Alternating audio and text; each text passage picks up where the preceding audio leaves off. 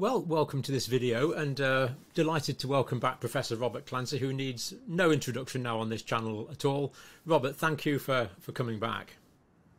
Pleasure. Now, we've looked at the, this is our sort of potted history of the, the development of immunology and how to understand it, this layered approach. We looked at the specific era where there was antigens and forming particular, stimulating the production of particular antibodies, then the cellular era, then the molecular era, and now we're into a modern era, and I believe we're going to use some interesting examples. Where would you like to start, Robert? Well, what we've done so far, we've talked about traditional immunology, the type of immunology that's taught in every medical school, every nursing school, and uh, probably every science course uh, and that is the immunology of systemic immunity. Uh, and there's a lot of reasons for this. It's, it's very easy to study, uh, it's got very clear cut uh, messages. And those of you who have been following this uh, series will remember that we talked about IgM and IgG antibodies. And we talked about those as occurring within the bloodstream circulating in the body and stimulated by an injected antigen or an antigen that gets into the uh, bloodstream. For example, um, a measles vaccine um, or a measles virus infecting somebody quickly gets into the bloodstream before it gets to the skin and the various target organs. And so this is a very efficient system. The whole aim is to make sure that the inter- internal part of the body is free of infection, free of foreign antigens. And so it has uh, a, a way of exploding and killing whatever comes in very quickly. And that uses an innate system based on either uh, phagocytic cells, which will eat the, the bacteria or virus, or cascading systems that explode with effector mechanisms that will kill the bacteria. And the most important and the best known one of those is the complement system. Now, way back in uh, around about World War One, it was recognised that uh, there may be a different way of handling various infections that don't actually get into the body but operate on the surfaces of the body, particularly the mucosal surface. That is the surface, the wet surfaces that line the lung or the gut or the eye, the nose, uh, the vagina, uh, uh, the, the, various, the bladder, the various um, systems that are exposed to the outside world uh, and have to deal with all the bacteria and all the different antigens that come their way. And a man called Besredka, who was from Czechoslovakia, who uh, worked in the Pasteur Institute, started killing bacteria that caused Shigella dysentery. This was a terrible problem where more people died in some of the theatres of war from Shigella dysentery than they actually did from uh, um, being killed on the battlefield. And he was able to show that by actually feeding these killed bacteria, he can actually induce a level of immunity. But no one quite understood it. You know, how could you do this when all the work that had been done in the Pasteur Institute and the Koch Institute in Berlin, all the, the great mucosa, uh, the immunology centres that had appeared over the last 30 or 40 years were working on this systemic immune response. Well, not much really happened other than other studies like this until uh, in the mid 1960s uh, a man called uh, Tom Tomasi working in Buffalo, New York. Um, Tom found that a newly identified immunoglobulin, and remember that the IgG antibody was an immunoglobulin, that's the type of protein it was. A newly defined one, which was called IgA, was actually that that anti, the antibodies in the secretions of the body were mainly IgA antibodies. They weren't IgG, they were IgA. And that created a completely new area of discovery and work, and a completely new area of immunology, which we now call mucosal immunology. Because this was the immunology of the surfaces, not the systemic inside parts of the body. And it all began with identifying IgA as the marker of this system because most of the antibodies and remember that there are more antibodies actually in secretions than there are actually in blood. There's huge amounts, there's handfuls of IgA antibody.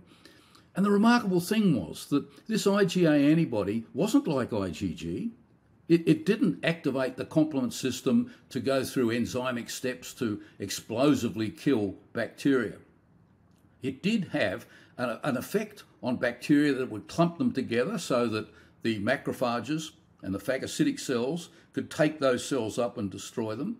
It prevented virus getting through into cells. So it had an effect on by itself, but not with the various innate immune system mechanisms that we have come to understand with respect to IgG antibody in the blood system. So, so we, presumably, we, Robert, there must be um, beta uh, B, B lymphocytes living in the mucosal areas to produce these antibodies. A- absolutely, and in fact, the next stage, uh, as always, John, you're one step one step ahead of progress here. Um, the the factory for the B lymphocytes, because it's always B lymphocytes that make antibody, yeah. was not in the spleen and the lymph nodes, which is the factories for systemic immunity, but little tiny knobs of lymphoid tissue in the wall of the small bowel, which anyone here who is even somewhere similar to my age would remember doing anatomy and seeing these little lumps, and they were called Peyer's patches, and we didn't have a clue. We had no idea what they did, and it was a bit of a nuisance that we had to remember them because they seemed pretty useless. Well, now, uh, in uh, 1971, uh, John Cebra, another uh, very important uh, American immunologist, uh, John and his PhD students found that the Peyer's patches contained the factory for the IgA molecules. Uh, the B lymphocytes, that if you took the B lymphocytes from Peyer's patches uh, in a rabbit and injected them into a rabbit, they turned up in the gut making IgA antibody. And so this was the second big step. But there needed to be a third step. And the third step came the following year, 1972, 1973. Uh, I was fortunate enough to be working uh, in the group led by uh, Professor John Bienenstock at McMaster University in Canada. Uh, my role was to kill the rabbits. I, I, had a pretty small role in all of this. Um, I was a, a, very junior junior person. Um, but John came up with the idea that this system that Cebra had described of um, aggregated, if you like, lymphoid tissue in the mucosal surface of the gut, maybe it also occurred in the lung. And so he uh, came up with the idea if we take the lymphocytes that we could take from the lining of the lung and injected them back into irradiated rabbits, then we, uh, uh we, we could see what happened. And what actually happened was both in the lung and in the gut, little um, B lymphocytes making IgA antibody were found. And so he said, ah, there's a system that there must be a communication system between all the different mucosal surfaces of the body. And he came up with the term the common mucosal system. And so this basically completed the triad of observations that put together this mucosal immune system. So, in principle, you had an IgA, a unique new molecule appearing in secretions called the IgA antibody. The factory for them were the little lymphoid tissue which was in the wall of the small bowel called Peyer's patches. And there were similar little lymphoid tissues, not so dominant, in the wall of the bronchus, the, the various tubes that go to the, uh, the lung, and uh, which John Bienenstock called the bronchus associated lymphoid tissue, or BALT. And so uh, within a couple of years, we then had a system. We, we didn't quite know if it did much, but we knew it existed. Uh, but that really established the, the ground rules for mucosal immunology. So, to put it simply, there's Peyer's patches in the bronchi as well. Yes, Just we, they called something different. but they, they were they were actually morphologically and functionally the same. There's not many in humans. Um, in the rabbit, they, they, there's quite a few. And every animal system has some, but in humans, you normally only see it when there's an infection and there's a reason to have a process for, uh, for processing antigens in the bronchus lumen. So the, the, it's mainly, and, and we'll come to this, that the, the, the dominant flow of the B lymphocytes, and then we, we showed later that it was also involving T lymphocytes. These cells flowed from the Peyer's patch to the lung rather than the lung creating its own um, it, its own protection. Nearly all of it comes from the Peyer's patch, and what um, what my group went on and showed was that the secretions of the lung pour into the gut. Uh, as we sit here, perfectly healthy people, we swallow a, a cupful of secretions from the uh, from the lung every day without knowing it. It's only when you get to a couple of cupfuls of secretions that you start coughing and coughing that up, uh, what we call sputum or, or phlegm. Um, and that's the excess amount. So we're presenting into the gut the antigens that might be in the bronchus. If bacteria, virus, uh, if you get the COVID virus, it gets aspirated up into the gut and it goes to the Peyer's patches. And so, what developed, John, was this idea that there was an off site development of immunity for the lung. And uh, the lung was recognized as having one big function, and that is gas exchange. Critical function. Oxygen in, carbon dioxide out. And it would borrow from off site whatever immunity it needed. Uh, it would tell the off site factories by actually swallow, by them swallowing whatever was in the lung and going down to these Peyer's patches. And you can see, uh, as that diagram up, the. Yes, yes.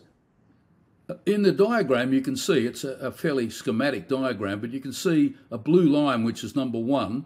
Yeah. And that represents the normal aspiration of uh, secretions into the gut. Uh, you can see the stomach, and then after the stomach, there are these little um, uh, patches, the blue patches, uh, yep. and they're the Peyer's patches.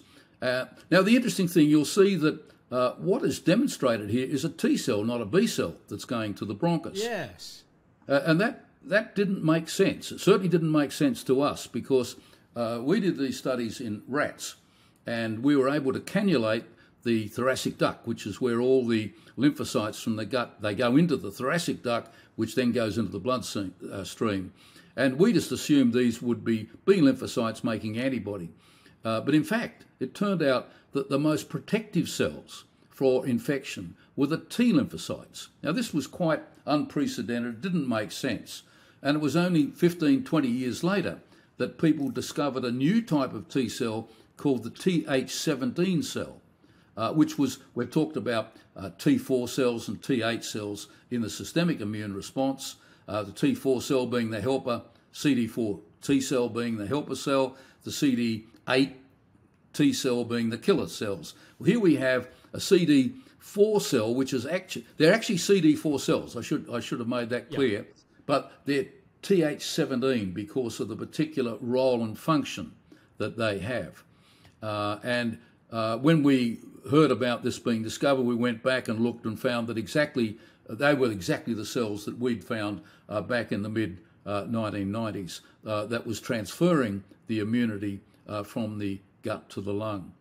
So we, we then had a system uh, that created immunity off-site, presenting it as it was needed to the airways to protect it against infection.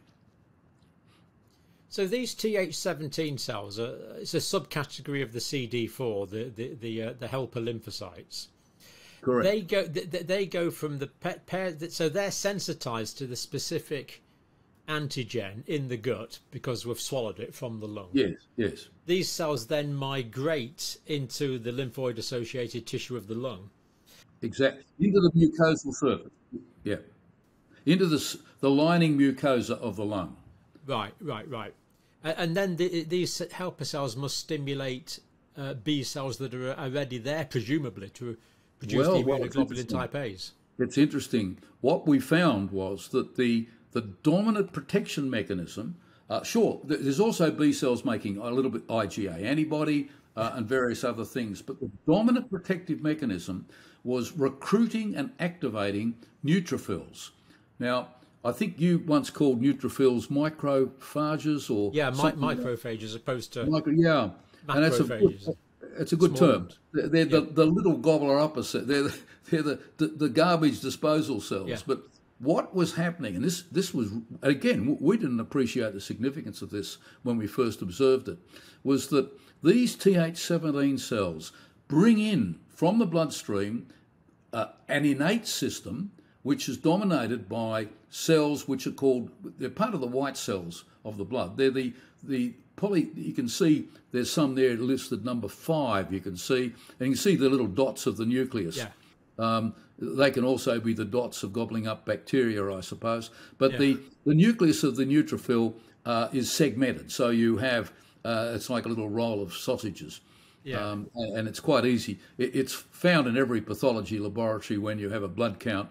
They count the number of neutrophils that you have, uh, the number of lymphocytes, the, different types of white cells. Yeah. But the interesting thing here was, and um, again, we didn't, uh, we, we, we noted it, but we didn't realise how significant it would be, was that these neutrophils became highly activated and long living. And they created, uh, if you like, um, a a game of their own within the, within the actual bronchus lumen, within the inside part of the tube that goes down to the gas exchange part of the lung. Um, and they would actually clear the bacteria that were there. And very powerful, very powerful system. I'm unclear about. There's there's lots of immunoglobulin type A's in the respiratory mucus. I'm still a bit unsure where that's actually being. These immunoglobulins are being produced. The IgA's in the respiratory mucus. Right, uh, it's a good question. Um, IgA is coming from the Peyer's patches too. It's just that it's not as powerful a system as the T cells. The IgA B lymphocytes also migrate from the Peyer's patch, and they have uh, special receptors on their surface, just as the Th17 cells, basically saying, "Look, I'm a postage stamp. Take me to the bronchus mucosa," and there they appear, and then they make the IgA antibody, which contributes to protection uh, and it will block virus being taken up into cells. Uh, it will aggregate the bacteria to make them more palatable for the uh, the phagocyte. But what they will not do is activate the um, various cascading systems that will provide the hand grenade that we talked about in systemic immunology. And so that became, in essence, the, the core part of mucosal immunology. But you might notice there's another slide here which told us that there was something else extremely powerful, extremely important, and has probably been the elephant in the room when we come to the COVID story because mm. it was never, ever properly factored into the equation. Mm. Yeah, just before we go on to that, I think I think I've got this. So it's it, the, the it's the, the there are B cells that are sensitized to a particular antigen in the Peyer's patch. They do migrate to the lymphoid-associated tissue in the bronchus, and they do produce immunoglobulin type A's. It's just that we get more immunity stimulated by the Th17 CD4s that then stimulate the neutrophil system. Yes. Uh, for example, if you put a bacteria that's going to kill, well, and this was done in rats, you put a bacteria like a, what Pseudomonas aeruginosa, which is the major bacteria that's very powerful in children with cystic fibrosis, if you put that in a rat, um, my colleagues who were uh, helping me with these studies would take the rats home to do 12 hour studies because all the rats would be dead by the time uh, they came back to work the next morning. It was very powerful bacteria. However, if you um, fed them a lot of killed pseudomonas, so they would go to the pay, or we actually cheated sometimes and injected it directly into the Peyer's patch. But if you pass these to the Peyer's patch, the immunity was so strong that the rats were sitting up there asking for their breakfast the next morning. They didn't turn a hair. It, it was unbelievably powerful. Now, the, the, the interesting thing is that um, if we then looked at what cells from the Peyer's patch was creating this high level of protection, we assumed it was going to be IgA antibody. But the B cells did a little bit, but not much. And we could show the antibodies that were appearing, uh, and but not much. But if we put the T cells in, then it completely prevented death in these uh, these animals. From a practical point of view. Robert, um, how, how how much stronger an immune response is it to direct the Pseudomonas attenuated dead antigen directly into the Peyer's patches as opposed to simply swallowing it? Because um, I, I would find it much easier just to swallow something and have it have it injected into my Peyer's patches as a patient. My colleagues were serious PhD scientists, and uh, they wanted to know exactly how much pa- uh, antigen went into a Peyer's patch. What we did, we did both, and we showed that both were equally effective. Um, I'm, I'm, reassured. yeah. You're reassured. Yes, it was yeah. certainly. We, we weren't cheating. We were just uh, um, making uh, uh, minimising the variables. I mean, I mean, this this First World War doctor just basically getting Shigella, presumably yeah. just killing it in some way, brewing That's it all up, he did. Yep. And and then giving giving the guys it to drink. I mean, it's just wonderfully simple. Yeah, and, and, it, and it, worked. And it worked. Yeah, yeah. And, and and so he must have saved thousands of lives from shigellosis, which is horrible. I'm sure that's true. Uh, I mean, all of this is documented.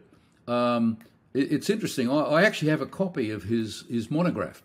Uh, the problem is it's in French, and I'm not a particularly good reader of French. I'll give you a hand with it when I come across Robert. but, I mean, it, it's interesting, isn't it, that that someone as important as Besredka, I, I doubt is known to any of the modern day immunologists, uh, and yet he made these observations, and he actually showed that there were agglutinins, antibodies that would clump the Shigella together but he didn't, of course, know it was an IgA or an IgG. All of that came uh, 20, 30 years later. Yeah, I used to teach the, the students that the, the antibodies prepare the food for the phagocytes table. And, and, and that's, you taught them well. Yeah, they, they, clump it all in one nice bit. That's right. It, so instead of having your Smarties all around the room, you have them all in, yeah, you have them all yeah. in one tube ready to pick them That's up. Exactly right. Exactly yeah. right. Yeah. I mean, it, it just seems the world is missing one heck of a trick. I've never had any oral vaccines apart from polio. Well, no, no. There's there's the cholera vaccine. If you right, go, never, to, I never had that. Right? Yeah, yeah. Yeah, the cholera the vaccine, you know, the standard cholera vaccine, very effective, yeah. very effective. Yeah. Um, yeah. Uh, we may get on to you know the options of, of this is completely new area of options and potential for, for, for changing the way a mucosal surface reacts you know, to a coronavirus, to a COVID virus, to a flu, uh, by optimizing this process. Uh, it is, which, but it's also been sitting on the shelf since the First World War, so it seems like a bit of a. well, no, there's a lot of shelves. It's just that they they've got uh, locks on them. The yeah. I, I, we quickly have to move on to the the elephant in the room. Yes. Uh, I I was lucky enough. I, I after I finished my PhD, I I went to uh, work with John Bienenstock in, in Canada, which is how obviously I got involved in mucosal immunology. And I've always been interested in two things, uh, which were a bit different to John. Um, and that was I was interested in humans and I was interested in T cells uh, because my PhD had been in T cells in, auto, in uh, autoimmune disease. And so um, I started extracting um, uh, T cells from these mucosal surfaces in the gut, human gut, uh, and working also in, in the rabbit. Now, I, I put up the uh, a slide from one of our very early publications. It's too long ago for me to even remember, let alone tell you. But it, it makes a very important point. Um, these were uh, rabbits that had been injected either into the lung, into the trachea, the airway going into the lung, uh, or into um, the skin. Um, and uh, here, you, you, what you're looking at is the uh, the uh, T cell response. T cells taken from either the washings inside the bronchus, so these are the T cells actually outside of the body, if you like, in the secretions, working away, uh, or the T cells that were um, found uh, in the lining of the mucosa, which we call bronchus associated lymphoid tissue, BALT, or T cells that we got from the spleen. So here, we, uh, there. This is only a small part of a larger experiment. The point I want to make is that if you look at the T cell on, on the vertical axis, this is the uh, response when you're trying to stimulate the T cells. The T cells are responding to either make their cytokines or divide. So it doesn't really matter what index. So on the vertical index, we're looking at response, and on the horizontal index, we're looking at time and they one, two, and three are weeks. So at zero time, uh, the antigen, which was one we made, a unique antigen the rabbit had never seen, called DNPH, doesn't really matter what it is. Um, and you can see, looking at the T cell responsiveness, at one week, obviously at zero time, there was none at all. It should have been connected. Uh, but one week, you can see that already you're getting a response of T cells in the bronchus lining, in the mucosa. Uh, no response yet in the cells in the bronchial washings. By two weeks, the spleen cells still hadn't really got their act together. Remember, the antigen not been injected into the body, it had just been put down into the trachea, the breathing tube going into the lungs. By two weeks, we've got a really good uh, proliferative response. The cells are dividing quickly uh, when they're stimulated in a test tube after they've been taken out of the washings, and you've still got a fair amount of stimulation in the bronchus uh, um, lymphoid tissue uh, taken from the mucosa. But the important point is at three weeks, there is no response at all. Now, this is crazy because if I'd put up, uh, which we did, the study of the systemic immune response, by three weeks there'd be a huge response uh, of T cells. Whereas in the mucosa, it's not responding at all, but you can see the antigen from the bronchus has leaked into the body and the spleen cells are now are starting to take off. And if we extended the study out, uh, the spleen cells would uh, actually continue to respond. But my point here is some, either the cells had become non-responsive all by themselves or something was turning them off. So this is the elephant in the room of mucosal immunology. And when I've talked to you in the past about downregulation or tolerance, this is what I'm talking about. It occurs in the gut, it occurs in the lung. And I, I, wanted to put this up not because I'm proud of what I did many, many years ago, because it's a it's a, it's a nice piece of, science, Robert. Pardon? It is a nice well, piece of science. Well, it, it, it, at the time, it was people couldn't understand. We couldn't understand it.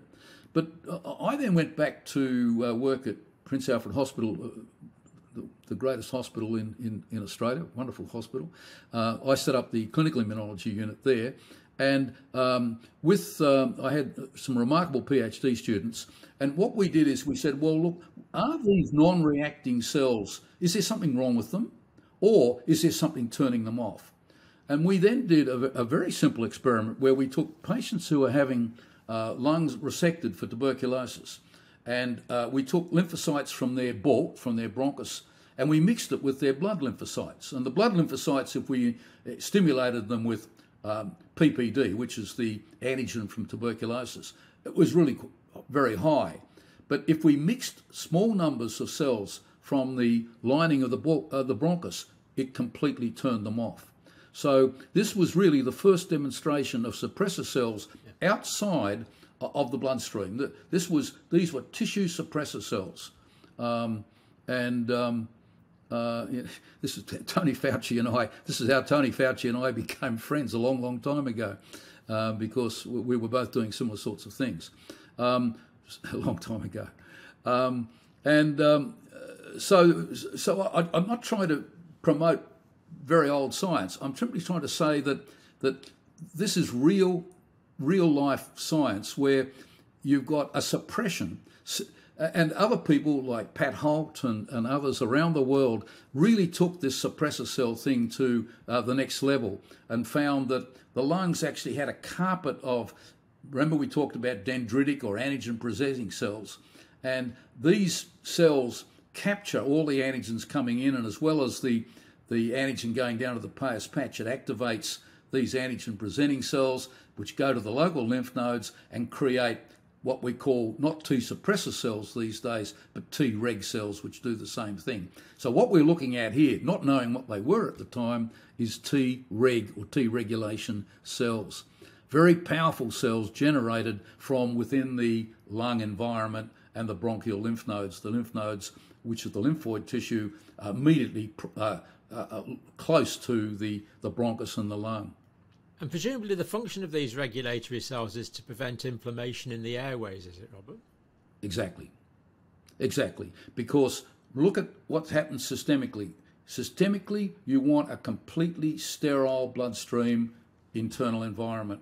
and you're prepared to have a big inflammatory response to get that because free floating bacteria and virus inside you is potentially a big danger and death. Whereas if you look at the lining cells of the lung and the gut, they're loaded with bacteria. We, we talk about the microbiota. In the gut, we say there are, so, there are more cells in the microbiota of the gut, this is bacterial cells, than there is in the rest of the body. We talk about it as the, the new organ system because it talks to the brain and talks to the rest of the body. Uh, I was just talking to a colleague today, and he was talking about how maybe this bacterial population creates or gets rid of fat within the liver. I mean, all sorts of things now are being talked about uh, in diabetes, in fat metabolism uh, from these bacteria. But of course, you've got to control them. If they get out of hand, you're going to have infection and destruction uh, of the gut and the lung, and of course, invasion of the body. And so you have this very, very clever mucosal immune system, which is not sterilizing, not sterilizing, but controlling, keeps the microbiome down to acceptable levels. Microbiologically, then, there's a complete difference. So we've got this massive ecobacterial ecosystem in the gut, but the mucus lining the airways is pretty pretty clean, isn't it? No, well, it's no, it's got bacteria in it. This is that, that's where the microbiome is. It's, right, it's so we do have a protected microbiome oh, yes, in, in the normal All the mucosal surfaces, even the eye, will have um, a microbiome, a particular collection of bacteria. Right. So, so if, if you do a culture and sensitivity on a sputum test, if you're looking for the right bacteria, it will always be positive. You'll find bacteria, always find bacteria, yes. But Just very often it's contaminant from the microbiome of the upper airways because the sputum's got to come up from the lung, sure. go through the pharynx, and then be swallowed. Yeah. So it'll it'll catch um, the the same the bac, a different set of bacteria yeah. which which are lining the pharynx um, and the, the, tonsils. And the tonsils yeah. work in a similar fashion to Peyer's patches. Yeah. Um, they're doing for the upper airways what the Peyer's patches are doing for the lower airways. Yeah, the, this the BALT, the, the, the bronchial associated lymphatic. Right, and I think tissue. that what we what we must take from this is that when you get the mucosal immune system activated by bacteria or virus, it will stimulate through the Peyer's patch not just a mucosal immune response, um, and at the same time, you've got the down regulating. So we, are already talking about a balance. But it distributes, it makes some IgG cells, which will go to the lymph node and the spleen. And so you, you get systemic, and this is why you get antibodies um, when you get, um, a, a, say, coronavirus, uh, COVID virus, which never gets into your lung. You still get circulating antibodies, and that's how you say, oh, you've had COVID, but it was very mild. Well, it hasn't been because the COVID has got into the systemic immune system. It hasn't. It's been aspirated down into the Peyer's patch, and the Peyer's patch delivers some IgG producing B lymphocytes, which home, go by homing, to the lymph nodes, to the spleen. But also, you've got these suppressor cells going to the same sites. And so, while the IgG antibody response to an injected vaccine for, say, measles gives you antibodies years later and high levels of antibody. Uh, you don't get that when you get the IgG being distributed from mucosal aggregated lymphoid tissues like the Peyer's patch and the tonsils and the pharyngeal lymphoid tissue. You don't because you have then you get a balance which brings into play the elephant in the room, these suppressor cells that we've been talking about. And that's why people run into problems with multiple vaccination uh, in, uh, in COVID. So I, I kind of assumed that the systemic antibody response was caused by a level of uh, bacterial escape. No. That's not necessarily the no. case. I mean, sure, uh, in, in, a person with bad COVID that gets breathless, we know yeah. the bacteria's got into the gas exchange apparatus. Yes, of course, uh, a lot yeah. of that will be uh, systemic stimulation. But at the same time, it's already uh, activated IgG systems by earlier being within, within the, the bronchus mucosa and, and, going through the that loop that we, we can see. You can see the loop um, uh, in that diagram that we, we had up. But this is an incredibly uh, good idea because it means that as soon as you get an infection into the upper respiratory tract, before it, most times it'll go away, but the odd one that does become systemic because it gets down to the alveoli, by the time the bacteria or virus hit the bloodstream, then there's already going to be uh, antibodies there ready to combat it, specific antibodies for that particular antigen. That's brilliant.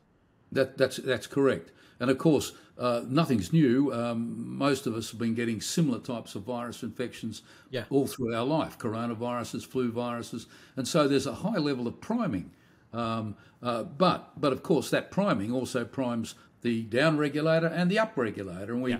we have to understand that this is all about uh, a, a, balance. Yeah. Now, one thing I, I didn't go into, which I think is important, um, if you buy the fact that the activation of, if you like, the specific or the adaptive immune system that we've been talking about coming from the Peyer's patches. How do you get ongoing protection when you get such a short pulse of activity? And the answer is that um, the specific T cells that are going to the lining of the lung that you can see migrating there, they don't only just re- they activate the the, the neutrophils that are brought in to gobble up the um, uh, gobble up the bacteria, but they also change them. That means it's called a phenotypic change or a change in its nature. They become long lived and they become very active at taking up and killing bacteria. And this phenotypic change is caused by cytokines produced from the T cells and the epithelial cells that the T cells act on to create a loop involving what's known as interleukin 1, which is one of the early discovered uh, cytokines uh, in the whole T cell system. And this is called an autocrine loop. Now, you might remember in an earlier session, we were, you gave a very good analogy of endocrine, where, um, and we took the thyroid, where the thyroid stimulating hormone from the pituitary gland comes all the way through the body to go to the thyroid gland, and we call that an endocrine system. But we talked somewhere along the line of a paracrine system, where a cell sitting next to another cell, and I think we did this in relation to antigen presenting cells yeah. and dendritic cells, it can make a cytokine or a hormone and act on the cell beside it, which might be a T cell. Uh, and that very close proximity is called, um, uh, so we had the autocrine, uh, and it's called a paracrine yeah. because it's very close. Yeah. Here we've got an autocrine system where the cell's making its own stimulus. Very clever. And, and we were able to show that in people who have got chronic bronchitis or coughing up um, yellow sputum, um, and, and, yellow sputum just means there's a lot of activated neutrophils. It's the neutrophils that make it look yellow.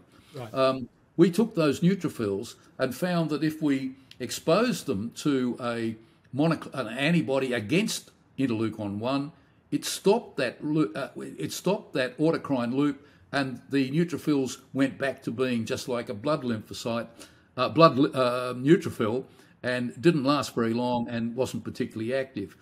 Uh, and so there's this very clever system, uh, and this, is just an example of how the innate immune system. Remember, the neutrophil is part of the innate immune system how it continues the protective mechanism after a pulse of T lymphocytes come from the Peyer's patches. They're turned off, but they leave the ongoing innate system.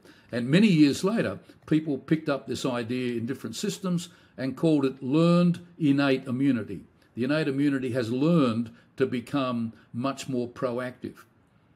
These neutrophils, Robert, the, the sensitized neutrophils, do we know if they're long lived? Or do these neutrophils divide and produce daughter cells that also have the same immunological memory? They, they probably act very much like what happens with lymphocytes in systemic immunity. Some become yeah. memory T cells, but what happens, they become residing within the lung. And recently, there's been a lot of interest in pulling out um, B lymphocytes and T cells from the lung and say, oh, here we are, we've got resident T cells, resident B cells. Now, these cells almost certainly have come from the Peyer's patches. Um, they've done their job, they've, they've kicked the innate system into action, uh, they sit there in the lung. Um, a lot of this is still very much being sorted out. Uh, mm-hmm. and, and the actual role of the T and the B lymphocyte, once they've done their initial kicking along, uh, is still, to me at least, a, a little unclear.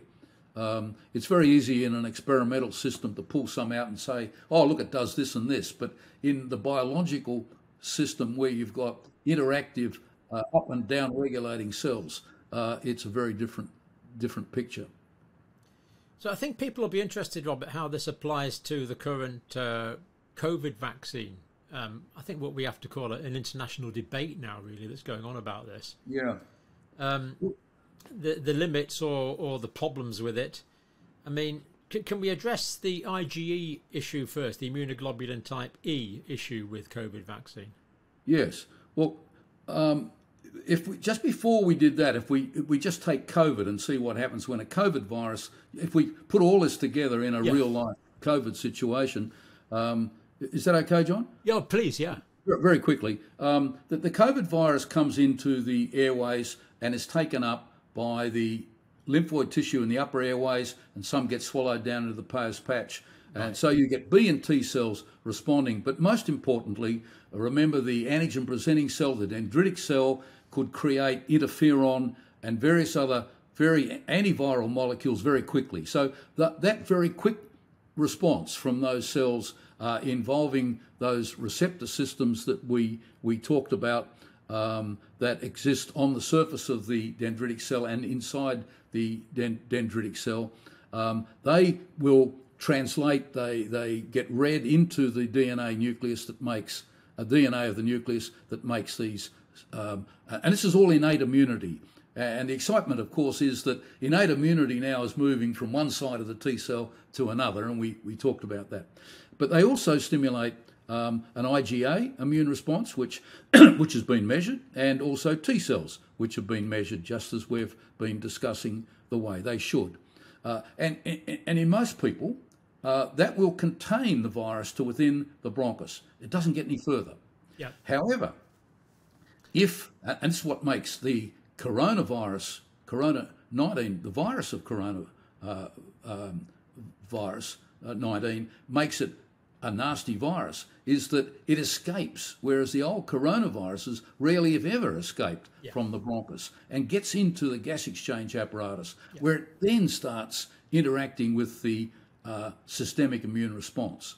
And depending on the how much antibody and how much antigen, the virus being the antigen, the relationship between the two is whether you get immunity and no breathlessness or viral pneumonia, uh, or overactive uh, cytokine storm.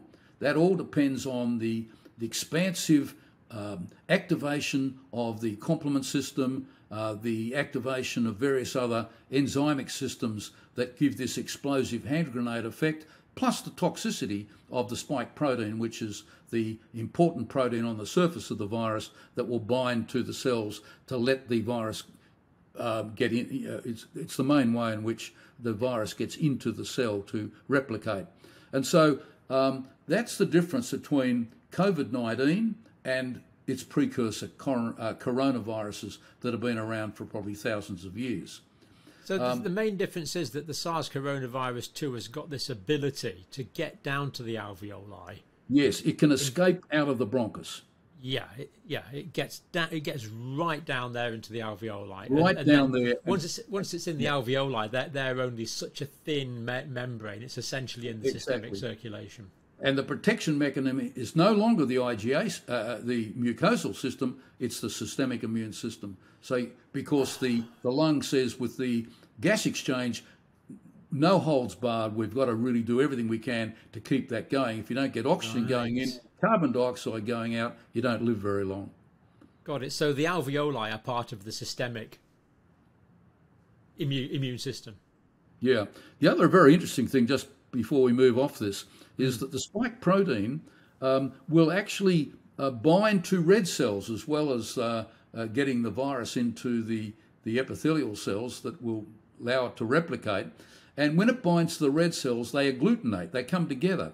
And this was a relatively unique feature of COVID, uh, particularly in the early days when we had a very invasive uh, virus. Uh, and what was happening is that within a day or two, the oxygen tension was dropping. Uh, even before there was a lot of radiological change of pneumonia. And it's now been shown by a group in France with some help from some very clever Americans that um, uh, the, the, the actual virus can agglutinate the red cells. Um, and um, I probably shouldn't say it, but the one thing that prevents that agglutination is ivermectin, but that's a different story. Uh, that's a, that's a scientific observation I'm talking about. Oh yeah, we're allowed um, to we're allowed to talk about purely academic scientific well, findings this on this. This has been published uh, in peer-reviewed uh, quality journals, uh, but it's it's very interesting. So that's what happens. So what happens when you vaccinate someone? Uh, well, first of all, before I do that, I'll just make two more points. Yeah, um, that when you the virus is coming into the the bronchus and the pharynx and the nasal cavities, it's also stimulating suppressor cells, which are going to go out to the periphery as well as act on the uh, mucosa. And the other important thing is it's only the local immune response that's going to prevent spread of the virus to the person in the family or the person next door. Because IgG antibody, for all intents and purposes, does not get into the bronchus secretions. And this was something that should have been understood but never was. And it took them a long while to realise that by vaccinating someone with which is going to stimulate IgG antibody, but essentially no or very little or useless IgA antibody in the secretions, um, then uh, the IgG antibody won't get into the secretions to prevent the virus multiplying and uh, being distributed uh, to infect other people. A very, very important point that I think underpinned a lot of the public uh, health issues. It is, and it's also a very, very annoying. It's a, it's a very annoying point as well because we had senior medical officers uh, standing up and telling us that telling children, for example, to become vaccinated to prevent their grandmothers getting infected, and yet. Let me ask you this question, Robert. How long have you known about this physiology that you've just described? Um, or basically since uh, around about 19, early 1970s. I mean, this is not rocket science. This is stuff that's been known. It, it was all in the literature. Um, but I, I, think, in fairness, I think the people who were making decisions did not understand the biology of COVID infection. They did not understand mucosal immunology, uh, and they uh, certainly didn't uh, understand the, the importance of balance between up and down regulation that occurs. Uh, it's now obvious that, you know, it's become quite obvious. Uh, I, I wrote an article, I know, in, in January of 21. 21? Yeah, it was January or February 21. Yeah. And I said, look, you know, this doesn't make sense to me. You know, you, this is going to be like a flu vaccine. Uh, you're going to get a small transient response. It'll probably be good for serious disease. It'll stop IgG antibody will uh, ameliorate the uh, um, serious um, viral pneumonia that can occur, which, which I think it did in those early days. Um, but, you know, it's not going to affect what goes on in the bronchus. Uh, this is a local immune uh, determined uh, event. So um, I'm sure other people were, were, were saying the same thing. Yeah, but it's still, I still find it bemusing that senior doctors didn't know this. I mean, they've all got mates who are respiratory physicians and immunologists, haven't they? You know. Yeah. Well, uh, yeah. I, I, think. Yeah. Yeah. I won't say anything. Yeah. They could have picked up the phone and talked to you. I mean, no, it was quite interesting when you look at the people who are on the uh, decision-making committees. Uh, and I talked to some of my um, uh, there's some very, very good clinical immunologists in Australia. And I, I talked to a few of them at the time and saying, look, uh, I asked them, I said, you know, are you on ATAGI, you know, the committee? No, no, we don't know anyone on ATAGI. Um, and uh, it, it, was, um, it, it, was bizarre. Uh, they were infectious disease physicians, public health physicians. But in fairness, you know, um, I'm not a virologist. I, am not going to talk about the intricacies of viral replication. I know a little bit about it, but not the not all the detail. Um, but um, just as the virologists really don't understand, or apparently not understand much of mucosal immunology. It would, it would appear so. So I think that just takes us on to the vaccine limitations now, Robert. Yeah. Um, starting off with the IgE. Yeah, sorry, I, I you did you did ask about. Um, no, no, no. That that that was absolutely uh, part of the linear process. You're quite correct. Okay, uh, IgE is one of the immunoglobulins that occurs um, when against particular patterns of antigens. Particular, um, everyone who uh, is listening to this will know someone with hay fever or asthma or eczema. Uh, and about 20 25% of people in the population make have a propensity to make IgE against uh, antigens which are generally presented to a surface, either the skin or the mucosal surfaces. And that's why allergies are lung allergies or gut allergies or skin allergies. This is atopy, Robert, isn't it? People, people atopy, atopy is the term used. It's got a long history in terms of what it means, but today it means a tendency to make IgE yeah. antibody. Yeah. It's a genetic tendency. You know, if you have mothers and fathers that have got asthma, the chance of their children uh, having asthma and hay fever is much, much, yeah. much, much higher. So you have a strong genetic factor. Now, the IgE is a very interesting uh, antibody. It was only really discovered by a, a Japanese um, husband and wife team, uh, uh, again, in the 60s, uh, late 60s. And, uh, and, and what they found was that the old skins, that they knew that there was a funny antibody that would bind to mast cells in the skin, which was called skin sensitizing antibody, but they didn't know what it was. And then um, uh, an IgE myeloma, a myeloma is a tumour of, of, of, B cells, and occasionally they make IgE, and then you can get handfuls of this IgG, IgE, uh, antibody, which normally is very low amount in, in, in the blood. And this was found to be the so called skin sensitizing antibody, which meant that it bound to cells called mast cells, M A S T, mast cells, uh, which reside particularly in mucosal surfaces, the lung and the gut, and, and also the skin. And if you then have an antigen, say um, you've got an IgE antibody against a COVID um, uh, antigen that you're going to inject in a vaccine, then, or you have a messenger RNA making that antigen, then if you've got the IgE uh, antibody, then the antigen will bind to that and the mast cell will release all its contents, uh, mainly things like histamine and various uh, leukotrienes. There's a whole range of these mediators that will act on blood vessels to dilate them and to make mucus secretion. Uh, and uh, if it occurs in the skin, you get a red, itchy uh, lump, which is called urticaria. in the nose, you'll get swelling and get hay fever. In the lung, you get asthma uh, in the gut, you can get uh, food intolerance, various food allergies. Uh, you get diarrhea, maybe abdominal pain. Uh, so you get these sets of symptoms. If it occurs, if the IgE antibody is floating around in the blood, and you inject the antigen as you do with a, a vaccine, and it will bind, and that antigen will bind to that IgE, you get massive release of these cytokines throughout the body not a localized effect in the skin, the lung, or the gut, yeah.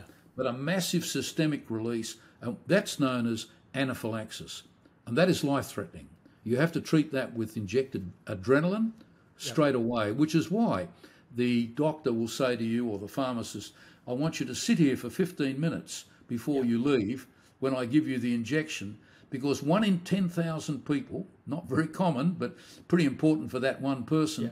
One in 10,000 people injected with uh, a COVID vaccine will have IgE antibody in their blood, and they will get anaphylaxis, which, if you treat it straight away with adrenaline, and that's why the doctor has you sitting there for 15 minutes, because he's got adrenaline sitting in a syringe just in case you're the one in 10,000. So this is pretty uncommon, but very important to know about. Yep, and um, the, the next point there is is auto antigen. What what's the thinking with vaccination and potential auto auto antigen stimulation? Well, this is what is unique. This has not been seen before with any form of vaccine. This is only occurring in the context of uh, messenger RNA vaccines. Now, what we know about messenger RNA vaccines is they go to many cells in the body. They don't just go uh, to the regional lymph node where antibody is made, uh, but they spread and they make an un, um, I mean, a, a completely unquantifiable amount of antigen. Yeah. If you inject a very small amount of flu vaccine, as we have at the moment, our flu season's coming and we're all getting our flu vaccines, you get a very small amount of measured microgram amounts of antigen. Yep. However, when you inject basically a piece of genetic material that goes into cells and takes over the yep. factories for protein in the cell and, and, and takes priority within those factories, it will make an unlimited amount. No one knows how much antigen is made on the surface of the cell or secreted into the bloodstream. We do know you can pick the antigen, which we know is the spike uh, protein, because the spike protein is the uh, protect the antigen to which you're making an immune response to prevent the virus getting into the cell to infect you. Uh, we, we, we, we don't know how much antibody is being made. Uh, and as we've discussed before, the amount of immune response is dependent on how much antigen. Too little or too much antigen has a net negative effect. And so, if you have a completely um, unregulated amount of antigen production, it's going to make you more likely to have a negative or tolerant effect to repeated vaccines. And again, that's exactly what we find. That uh, on one hand, you've got the turning off of the immune response you want, and on the other hand, you've got turning on of an immune response against that spike protein sitting on the surface of the cell that's taken up the messenger RNA. So it's sitting there as a target. Now, this has been demonstrated in postmortems. The Germans have led the way in doing this. Um, uh, there's been uh, some very good small studies done, certainly in America, showing that the spike protein can actually be shown to be produced in the tissues of people dying following vaccination. Um, and you can see the T cells clustering around, uh, just as you would see in an autoimmune disease. Uh, this is only autoimmune, and it's not autoimmune in one sense because it's the foreign antigen, but it's being seen in the same way and acted upon in the same way as you would see in an autoimmune disease. And this, to the best of my knowledge, is unique in uh, vaccinology. And it's probably get huge, something similar with the adenovirus vector vaccines, but yes, I yeah, it, yeah, uh, that can do it too, but probably less so in the sense that you, um, you, you, the adenovirus, your antigen uh, or the, the DNA that's going to code for it is part of the the the actual uh, attenuated virus that's going to be stopped. Yeah, uh, it's not going to go on and on and on in the same way that it, yes. you know you get messenger distributed everywhere. I mean, there's no doubt it, potentially you can, and and probably you do to some extent. But um, if you look at all the people who are getting uh, myocarditis and uh, young people getting heart disease and uh, all the, the, consequences of that, which we're only just starting to see uh, the tip of the iceberg of uh, yes. in terms of numbers and, and outcomes. Uh, sudden deaths on sport fields, um, people dying from um, heart problems or brain problems in the first couple of days or first week after a vaccine. I mean, this is not occurring in in, lots of people, but it's occurring in some people. Yeah. And, uh, you know, I mean, when you put it in those terms, I, I just find this somewhat horrendous. You know, if you've if you've got a pain, Robert, you can take 15 milligrams of codeine, or you can take 150 milligrams of codeine, or you can take 1,500 milligrams of codeine. As if you know, but by the way, you can't. Please don't do that. No. but, but, but you know, you, you, we, are not uh, controlling uh, the dose. You certainly wouldn't be liable to getting diarrhea under those circumstances. No, no, no. Only take drugs that your own doctor prescribes. Of course, yeah. we use this purely as an example, but you know, you know, or, or, if I gave you some morphine, I, you know, I'd, I'd, be terrified to give you more than five milligrams unless it was very, very slowly. And that's right. You know, but yeah, you know, don't worry about it. Take 50, take 500. You know, yeah. the dose doesn't matter. It's just. But that's what's happening with these vaccines. We're not getting a controlled dose of antigen. No, it's a very, it's, it's a very good example of how we have built medical practice. Uh, yeah. We've built medical practice on careful observation, careful quantitation of uh, what goes in and what comes out. Yeah. And um, I, I, think that while it's very sexy to think about uh, genetic vaccines like messenger RNA, um, it, it's uh, uh, it, no, no, one, no one has ever shown they're better or cheaper or, or quicker to develop than the good old fashioned vaccines that we've had for 100 years that we know work. We know how they work, we know the level of them working, and we know their safety issues. So, why on earth create something we know nothing about and, and give it to, what is it, something like 85% of the world's population? Unless you live in China, where they use the Sinovacs. Yes, yes. And put it in those terms, it's just completely. Very smart. Yeah, just, yeah. Yeah. Now, my, my, words have gone. It's just when, when, you see the objectivity of it, it's just. Um, it, it, makes no scientific sense. No. And, and, we've talked about this before, but I think it's worth repeating, John, that to see billions of dollars, billions of dollars being put into factories. Uh, off air, you, you were talking about making TB vaccines using messenger RNA. I mean, for goodness sake, sort out the positives and negatives now while we can Get all the preclinical data, get all the clinical data, sort out the distribution, how much antigen's being produced. Can we do it better? Um, yes, we can. We must be able to. Uh, I, I would, I would have thought it's a good idea to do that work before we build the factory in Melbourne to produce 100 million doses a year. before we build the factory in Oxford to produce 250 million doses a, a, year before we build the factory in Canada, before we enlarge the factories in the United States. You're sounding awfully logical and awfully scientific, John. yeah. yeah.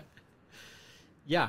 Um, but you, we all know that these are or, or, or, or cynical, but it's not cynical. That it's not I mean, the, the, science, the, science, the science makes sense.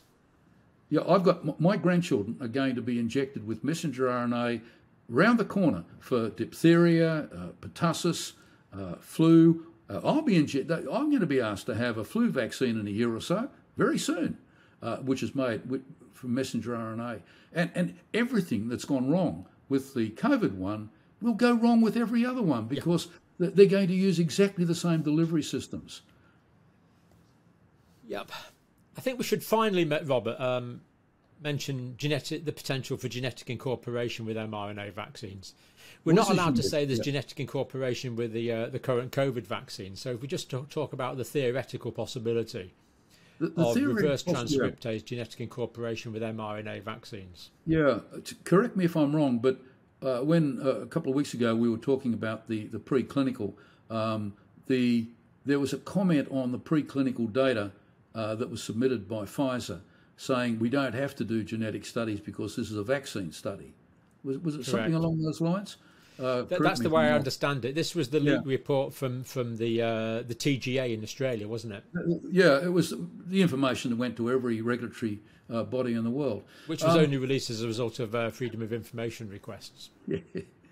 Uh, the the thing about messenger RNA is that the the body does have an enzyme called reverse transcriptase. Now, the reverse transcriptase, I can remember back in the 80s and 90s when uh, HIV was dominant and um, um, the, the, reverse transcriptase became uh, a big thing. And I actually got the feeling back then that the body didn't have any reverse transcriptase because uh, you might remember they were making antivirals, which were very effective uh, and really changed the outcome of HIV. It's been terrific. Um, very different to what we, we see in, in COVID. Um, but uh, it was really great breakthrough. You know, Nobel, Nobel prizes were, were given. Um, the but what what what has become clear is that the human cells do have some reverse transcriptase, and I'm certainly aware of three papers uh, that have described the reversal of genetic information. And again, uh, when I was a student, it was DNA to RNA to protein. Well, now we've got a situation where you can actually go from the RNA back to the DNA by using an enzyme that changes the single base difference between RNA and DNA. Uh, the uracil gets replaced out, and don't forget, um, with the uracil in uh, uh, the um, uh, in the vaccine, the messenger RNA vaccine, it's actually a suit. They've got a pseudo uracil, so you've got uh, an abnormal um, uh, an abnormal amino acid. And what I don't, well, sorry, base, abnormal base, base. Sorry, yeah, uh, abnormal purine.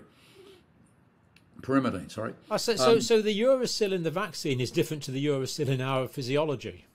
I, I'm, I am not certain whether they're all the uracils in the vaccine have been replaced with pseudouracil, which is a methylated uracil. Uh, and again, I, I should know this, but I, I, I, now you ask me, I'm not certain I do. But th- there may be a mixture, but we certainly know pseudouracil yeah. is there. Now, if you're getting reversal of the messenger RNA into DNA, so you've now got DNA coding for spike protein in the cell, um, I, you've got this potential added problem uh, and there may well be experts who know a lot more about this than I do who say, no, no, no, for some reason the pseudo uridine doesn't get translated, but my guess is it would be. But certainly there are at least three studies showing you do get this reversal of genetic information. Now, what does that do to the cell? Does that cell more likely to become a cancer cell? If it's a germline cell in the ovary or the uh, testis, uh, are those cells more likely to pass on to the next generation? Uh, abnormal information encoded. A spike protein is going to be produced uh, in a progeny, uh, in a you know your grandson, your great grandson. We don't know these things. I don't know the answer, and I haven't. Don't think anyone else. I know no one else knows the answers. These, to me, John, are the questions that have to be asked and answered before we start giving this to 80% of the world's population. Maybe My thinking is the same as yours, Robert. But when the HIV thing first kicked off in the early 80s, I assumed that um, the reverse transcriptase was delivered purely by the virus itself. Yeah. Um, but I'm unclear where, where, where, where the virus comes from in for most of the reverse transcriptase in HIV. But as, well, as you correctly say, from the virus. Yes, yes. Yeah, I don't know if it comes from both or, or what, but yeah. but, but but there's certainly reverse transcriptase in human cells. I mean, this is now well shown. But yeah, well, I, think, I think we could say that that is known. Yeah, yeah. I, I think that's true. Uh, mm. And um, there have been, um, as I said, a couple of studies I've seen where they've actually shown how the, the DNA has been changed to incorporate this new message producing, uh, um, spike protein producing information. Well, yes. you know, how many cells does this happen to? Uh, does yes. it increase with time? Uh, do you get self-replication? Do you get this in the um, epigenetic, you know, in the mitochondrial DNA? Uh, I don't know. Um, yeah. And, um, and these, these questions should be asked before anything is anything further is done. I mean, I, I, I tend to suspect that the risk of reverse transcription of of spike in somatic cells is probably relatively low because we must be getting reverse transcription of viral infections all the time. Yeah. And I agree, I agree with that. I agree with that. So, um, presu- presumably, in old DNA like ours, if you look at our somatic cell DNA, that, that will bear the traces of uh, virus viral infections that we've had throughout our lifetimes. It does indeed. Uh, I think it's uh, the the only right, I, I, think that's that's right, and I, I, I, would I should have said that, but I, I think the only rider is that we're, we're incorporating uh, a a different messenger RNA. It's being translated. Yeah. I'm not sure how the pseudo uridine, for example, the methylated uh, uracil, whether that gets tr- translated. I mean, thymidine uh, from memory's got a methyl group anyway. Um, correct me if I'm wrong. I, I uh, can't remember. going back a bit, um, but uh, you know, it, it, it may be that uh, uh, you don't get that transferred back. These are just questions that people like us should be told answers to. Yeah, I, am not. Deb- I mean, the, the, the question should be answered before we go on, but uh, it, it's it's a risk which probably is there. Hopefully, won't be there or a big problem, but it, it, certainly should be answered. But the, the, the one about the autoimmune stimulation and, and the uncontrolled antigen is the science there they're, is so the, simplistic. They're, they're, they're, they're, big issues. They're issues that occur and yeah. they really need to be sorted out. I, I agree with you. Um, and when I've talked about this, uh, I, I, don't say too much about the reversal into DNA because, I, like you, I believe that uh, every virus around is going to have a little bit of it pop back into, you know, we've got a very complex nucleic acid yeah. structure in the nucleus, haven't we? Fascinating, yeah. But but well, certainly that's the, um, yeah, quite enough for today. I think um, I'm I'm quite. Uh, I always feel pleasantly tired after these talks. It's a it's it's it's a it's a nice feeling, and I'm left with lots more questions. But I think we'll leave that one there today. I would just say to people, do check on the whole series. I'll put the links for the whole series uh, of of these videos, the specific era, the cellular era, the molecular era, and now this cutting edge with the World vaccines that's only now coming to light, even after uh, research going back to the First World War. Fascinating stuff. Well, I think what John, maybe we can just conclude by saying that, uh, in a sense, uh, you and I decided we'd put on this series of four, um, showing that the, immuno- the immune system can be understood uh, if you untangle untangle the complexities and the mouse genetics and all of that sort of thing. And we've actually gone through some fairly sophisticated ideas in immunology, hopefully in a way that people can understand.